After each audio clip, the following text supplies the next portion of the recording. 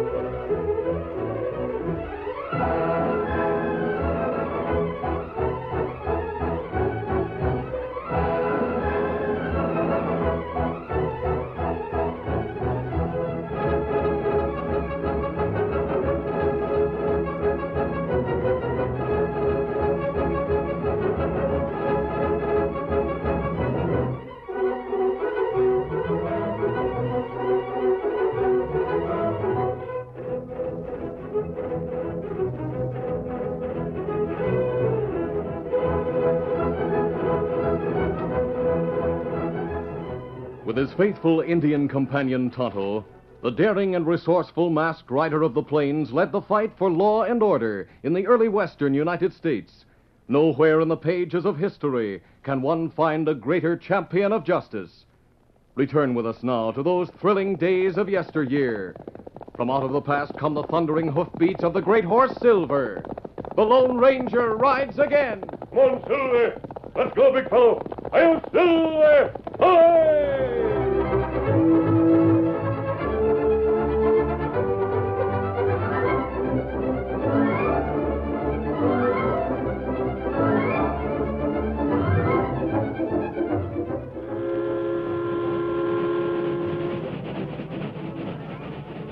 Dan Reed, 14 year old nephew of the Lone Ranger, was returning to Rock Hill after visiting friends some distance away. He sat in the railroad coach next to a nice looking girl who was reading to pass away the time. Finally, she put the book down and, with a friendly smile, spoke to Dan. You seem quite young to be traveling alone. Oh, I'm not going far, just to Rock Hill. Really? That's where I get off. I'm Jane Walters. My father and brother run a ranch near Rock Hill. My name's Dan Reed. Did you go east on a visit, Miss Walters? No, not exactly, Dan. Dad sent me to St. Louis six months ago to stay with my aunt. I really didn't want to go. Oh, you didn't? No. You see, there are a few sheep ranches near our place. Well, at first, Dad and Tom, that's my brother, tolerated them, though they didn't like them. Then things began to happen, such as fences torn down, cattle missing, and other happenings that Dad blamed on the sheep ranchers. Golly. Then your father didn't want you to be there in case there was open trouble, I guess. Not exactly, Dad. You see, the man I promised to marry, Jim Fletcher, owns a sheep ranch. When I told Dad and Tom about Jim and me, they were furious, and Dad insisted I go to St. Louis at once. I see. He made me promise to stay six months, thinking I'd forget about Jim. Dad doesn't know, of course, that Jim and I have written regularly to each other, and that we feel just the same about things. I bet Jim's a nice fella. I think so, Dan. I know you'd like him. And I know very well he's not to blame for what's happened at the ranch. And I have Jim's word that none of the other sheep ranchers are to blame either. No one can make Dad or Tom believe that. Gosh. Then I wonder who is behind it all. No one knows. And things just continue to happen, according to Dad's letters to me. Well, I think we're getting into Rock Hill now. I'll get your suitcase down from the rack. Thank you, Dan. That's nice of you. Rock Hill! Rock Hill! Well, here we are. You were right, Dan.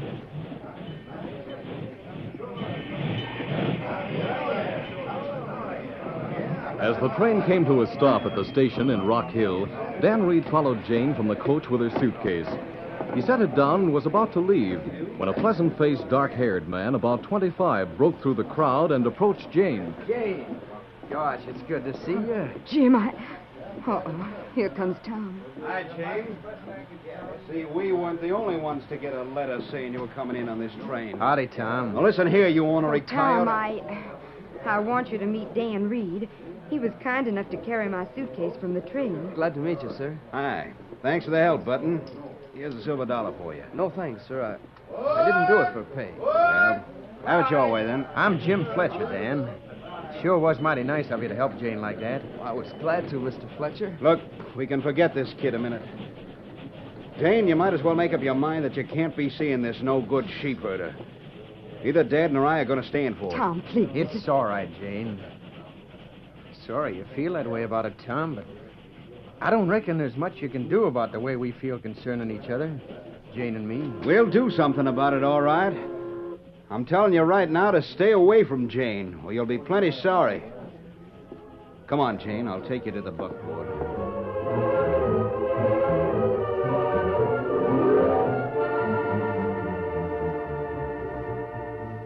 A short time later, after getting his horse Victor from the livery stable, Dan Reed arrived at the camp in the hills which he shared with Tonto and the Lone Ranger. Dan told them of his discussion on the train with Jane Walters and about the meeting at the station. Hmm. I've heard rumors that things weren't going well between the sheep ranchers and the Walters. That's right. I didn't know the happenings Jane spoke about. She was sure the sheep herders weren't to blame. Maybe not. In that case, someone has reason to create bad feeling between the Walters and the sheepmen. Ah. And it's not good. It maybe mean range war. Yes, I know. Gosh, I, I'm sure Jim Fletcher wouldn't do any of those things, like stealing cattle and all. I see. Jim must be a likable fellow, Dan. Oh, he is. I didn't like Jane's brother Tom, though. He looks plenty mean to me. Uh, him sound mean. He may be all right. The circumstances could make him act that way. Too bad for Jane, though. Golly, yes. Tonto, after supper, I'll put on a disguise. Then we'll go into town and visit the cafe. We might hear something more about all this. If something isn't done soon, the Walters may get some cattlemen together and go gunning for the sheep ranchers.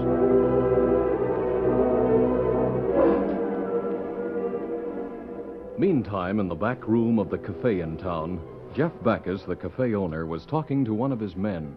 Well, Sid, you said you had something to tell me. What is it? Look, Jeff. I was at the station when the train came in. The Walters girl got off, and both Jim Fletcher and her brother Tom were there to meet her. You mean they went there together to meet her? Heck no. When Tom Walters saw Jim Fletcher there talking to his sister, Tom got sore as all get out. Go on. Tom told Fletcher to stay away from the girl or he'd make him plenty sorry. You could see Jim Fletcher didn't like it much being called names and talked to that way in front of folks at the station. But because of the girl, he didn't say anything. Just walked away. Yeah, it's sure bad blood between those two hombres now. Yeah. And that's what gave me an idea. So I come to talk it over with you. Yeah? What idea? What do you mean? Don't you see the chance it gives us? Hmm. You mean we could. Cattle, huh? Yeah, I'm beginning to, Sid. Tom Walters comes in a cafe nearly every night. I'll be watching for him tonight. And when he comes in, I'll tell him a few things that'll really start the ball rolling. and that'll leave the way wide open for us. Good idea. Come on, let's go inside. Right.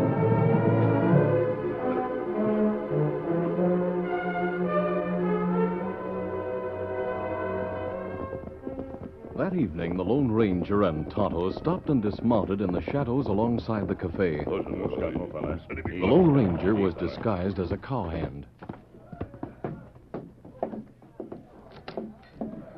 We'll go stand at the back, Tonto.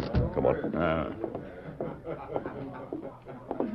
Something for you, mister? Not right now, thanks. Hi, Tom. How's things at the ranch? Him Tom Walters came us, Abby. Eh? Yes, I know. We're ready for trouble if more of it starts. Hi, Walters. Hello, Sid. I heard somebody say Jim Fletcher was kind of sore about something you said to him in front of the folks at the station this afternoon. All he has to do is remember what I said to him. That's all. Fact is, I heard he was so sore he said he was going to get even with you somehow and soon.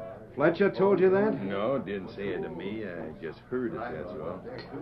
So if anything more happens around your ranch, you'll know who to blame for sure. Yeah. Thanks for the tip. Well he's probably just shooting his mouth off to hear himself talk, anyway. I wouldn't be too sure about that. Well, I got to go get a card game going. I see you later. Yeah. Let's get out of here, Tonto. Uh-uh. Yeah. Well, we had it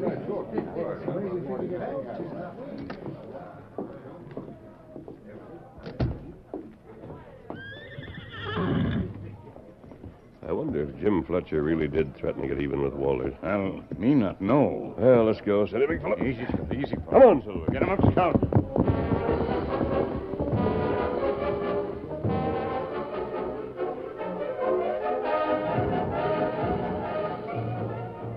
The following morning, Jane Walters, with her father and Tom, had just finished breakfast when the foreman of the ranch came in.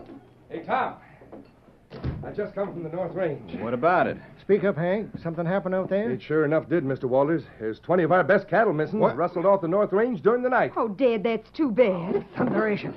This sort of thing has got to stop once and for all. Yeah, Dad. And I'm the one who's going to stop it. This time I know the ornery coyote is behind that rustling. We're always blaming those sheepmen, Tom. We never get any proof. so I know for sure. Jim Fletcher planned that rustling job, Dad. He was going around town yesterday afternoon saying he was going to get even with me for showing him up in front of folks at the station. And he said it'd be soon, too. Oh, no, Tom. You can't blame Jim. I'm sure he wouldn't do such a thing. You don't see him like we do, Jane. He's just no good. And I'm going to see that this time he gets what's coming to him. What you aiming to do, Tom? I'm going over there and give him the chance to gun it out with me right in his own front yard. If he's got the nerve. No, no, you can't. Dad, don't let him. Nobody's going to stop me. Maybe you better think it over, Tom. Shut up, Dave. I know what I'm doing. Fletcher isn't at his place. I saw him riding the trail toward town when I was going out to the North Range. Then ride to town and tell him I'll be waiting for him when he gets home. And if he don't show up, I'll burn down the place with the help of some of our range hands. Now go find him. All right, Tom. I'll ride to town right away. Tom, you can't do this. See here, Tom. Till you know for sure that he planned that rustling. I'm going through with it, Dad. This has become a personal matter between that yellow coyote and me. He'll skip the territory, most likely. No, no, he won't. I know Jim too well. He'll go to meet you. But since you're my brother, I'm sure he won't draw against you. Tom, you can't do this. You can't. I'm going to get some of the ranch hands, and then I'm going over to Fletcher's place. See you later, Dad. Dad, don't let him go. I can't stop him, Jane. Tom's plenty headstrong. I'll go get my horse and ride along. Maybe he'll change his mind before Jim gets home. You'd better stay here, Jane. No, I'm going to town to find Jim. I don't know what good it'll do, but but I can't let Tom force him into a gun battle.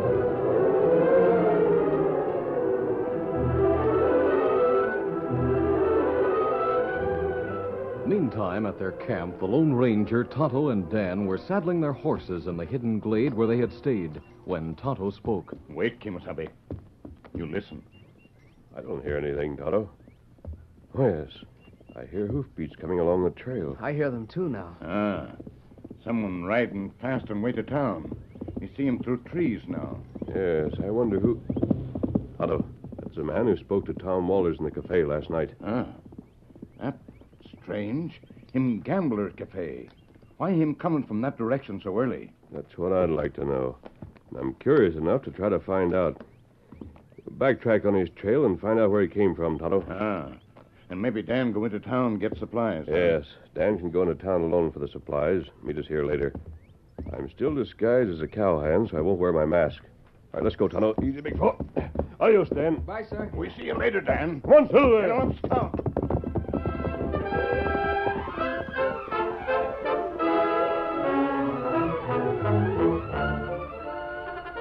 Curtain falls on the first act of our Lone Ranger story. Before the next exciting scenes, please permit us to pause for just a few moments.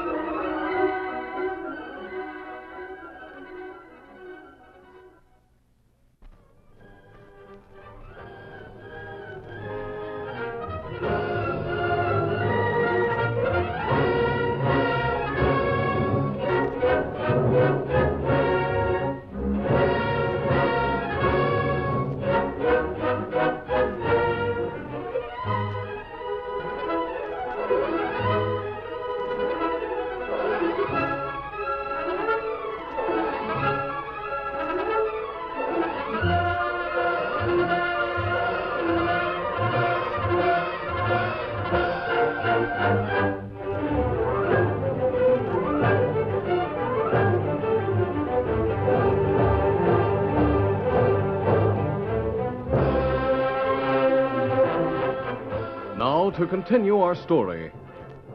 While Dan rode to town alone, the Lone Ranger and Tonto followed the back tracks of the man whom they had recognized as Sid from the cafe. They rode for several miles, and then the trail led up the side of a ridge. As they reached the top, the Lone Ranger called a halt. Now, wait, Tonto. Hold Silver. What's got, old feller? No need to follow his tracks down the other side of this ridge. He must have left that small herd of cattle we see down there. Mm, that's right. Look, Kemosabe. We see two men guarding cattle over to left. Yes. Strange that gambler should be interested in that herd. That's right. And what we do? We go back to town and ask a few questions. There's something wrong about all this. All right, let's go. Come on, Silver. Come on, Scout.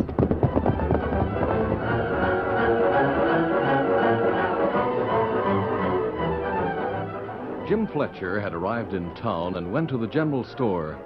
He was still there when Dave the foreman entered hurriedly. Hi, Dave. What brings you to town so early? You do, Jim. What do you mean I do? Just that. You see, Tom Waller sent me in to find you and give you a message. Well, what's the message? Oh, Tom's mad as a hornet, Jim. He's gunning for you. Tom gunning for me?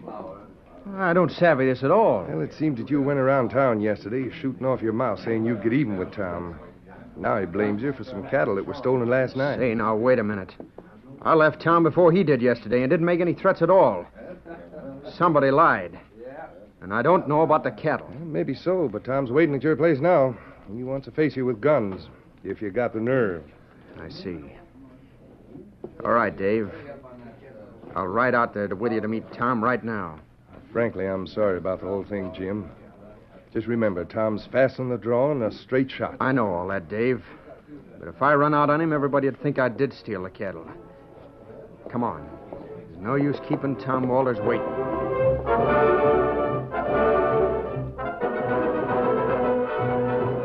A short time later, Dan Reed bought supplies at the store. As he prepared to mount, he saw Jane riding up the street. Hello, Miss Walters. Dan! Whoa, whoa there, whoa, steady. Golly, you came to town rather early. Oh, yes, Dan, I did. I can't stop to talk. Which way do you go? West on the trail a short distance, then I turn off. Then mountain right as far as the branch trail with me. I'm in quite a hurry. Yes, and easy, Victor. Steady, boy. Come on, Victor. Get up there. You seem upset, Miss Walters. Oh, I am very much, Dan. A small herd of our cattle was stolen last night, and Tom, my brother, blames Jim Fletcher. Oh, gosh. I came to town to find Jim. He rode in earlier, but I missed him. That's too bad. Yes, it is. Tom sent our foreman to tell Jim to go to his ranch and that Tom would be waiting to face him with guns. Jim just won't draw against Tom. I know he won't. And he'll be killed. Dan, what can I do? Golly, I don't know. Maybe if my friends knew, they could do something. Your friends? Yes, I, I haven't time to explain, but maybe if I went Then after go them- after them, Dan. Somebody has to do something. I'm going to Jim's place now. I turn off just ahead. Where is Jim's ranch? About six miles up the west trail. Oh, they have to stop Tom somehow. They just have to. Goodbye, Dan. Get up there. Goodbye. I'll find my friends and bring them there. Come on, Victor. Riding at breakneck speed, Dan passed the campsite where they had stayed for the night and continued on the branch trail in hopes of finding the Lone Ranger. After riding about two miles more, he sighted Tonto and the Lone Ranger riding toward him. Gosh, there they are. Come on, Victor. Come on. In a few moments, Dan approached the Lone Ranger and Tonto and pulled rein. Oh, oh, Victor. Hold on. Hold, Silver. Easy. Dan, what's happened? You've been riding hard. I met Jane Walters coming out of town. She went to warn Jim Fletcher, at least try to stop him from going to face her brother. Easy, Dan. Take it easy. Ah, you not make sense, Dan. Somebody stole a small herd of cattle last night from the Walters. Go on. Tom Walters is waiting at Jim Fletcher's house for Jim to get home from town. He's going to make Jim face him with guns. That not good. No. I feel sure now that Jim didn't steal those cattle. That's right, Kemosabe. Jane says Jim won't draw because Tom is her brother. She feels sure of that. Where is the Fletcher place, do you know? On the west trail, about six miles from town. Well, we can take shortcut from here, Kemosabe. Dan, go to the camp and wait there. Hello, let's take that shortcut and fast. Come on, Silver. Let's scout.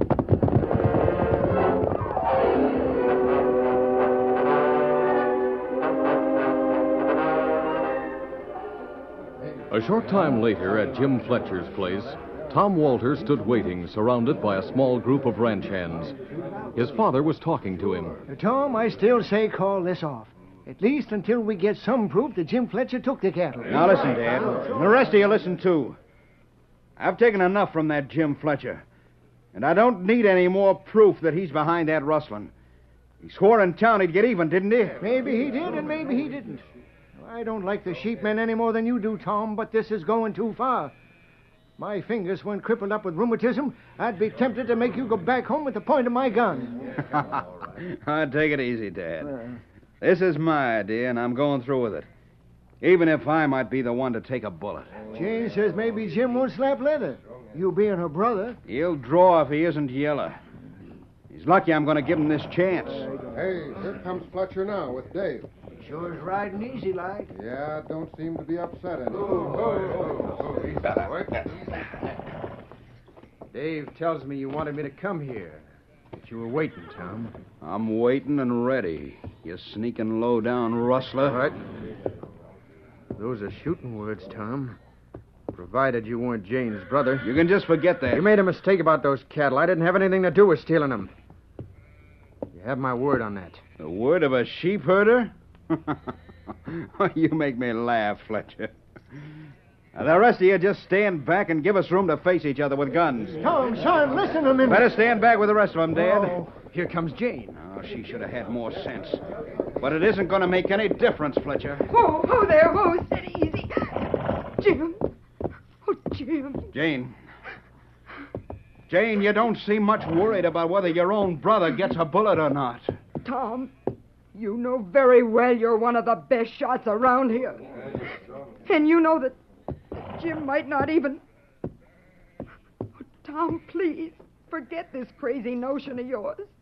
I know Jim didn't take the cattle. That's right, Jane. I didn't. I'm warning you, Jane. Get back with the others. Come along, Jane.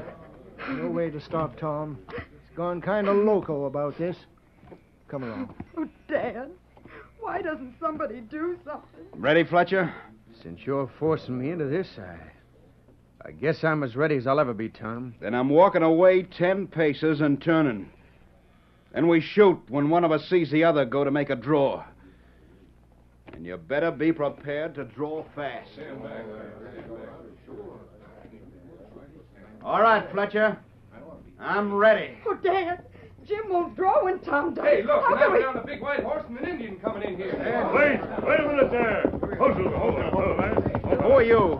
What'd you come here for? I heard what was taking place here.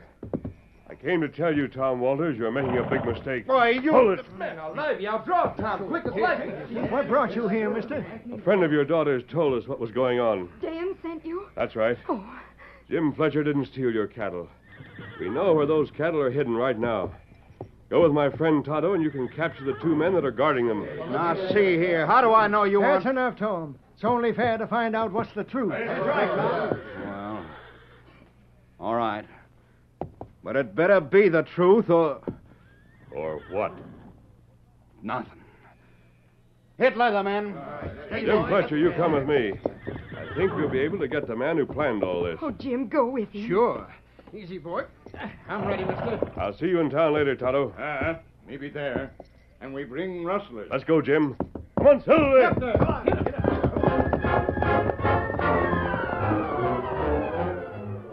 Swinging back to the branch trail with Jim, the Lone Ranger picked up Sid's trail and followed it to the back door of the cafe. He and Jim dismounted quietly and approached the closed door. I went into the owner's office. Yeah, but how do we get Now, listen, wait. Tom Walters is gunning for Jim Fletcher, as you know. Yeah, your plan works, Sid. We've made plenty so far by keeping those sheep herders and cattlemen at each other's throats. yeah, the cattle you got last night will be run across the border tonight. That's right. By that time, Fletcher will be dead. He can't stand up against Walters. All right, we've heard enough. Come on. Reach, both of you. What the? I'll get you. No, you won't. Hey, hey, what's the idea? You're going to the sheriff. Both of you. Yeah, we overheard you say you stole Walter's cattle. By now, Walter's men have captured your guards out there where we saw the cattle hidden. Boy, you sneaking coyote. Hold it! That settles him. All right, let's get them to the sheriff.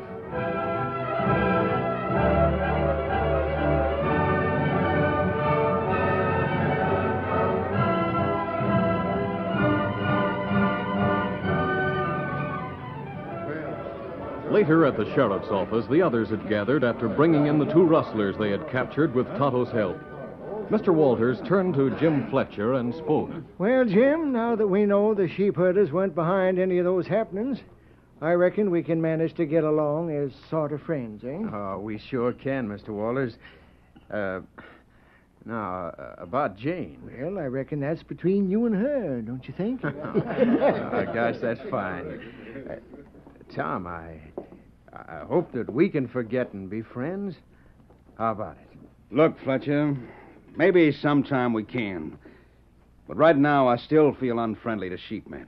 Of course, if Jane wants to go ahead with her plans, it's all right with me. It'll take a while yet before I feel different. Come on. Mm. Tom's still hard headed as all get out. I'm sorry he feels that way. Oh, don't expect him to be all milk and honey right away. He don't change that quick. The fact that he don't care if you and Jane go together is plenty enough change for one day. I'd, I'd sure like to know who that hombre was who was responsible for bringing things out right. The one on the big white stallion who came to town with me and caught Jeff Backus and Sid. You mean he didn't tell you who he was? Nope, he didn't, Dave. And I'd sure like to know. Well, the Indian told us who that hombre is, and believe me, it almost knocked me right out of the saddle to hear that he's the Lone Ranger. The Lone Ranger?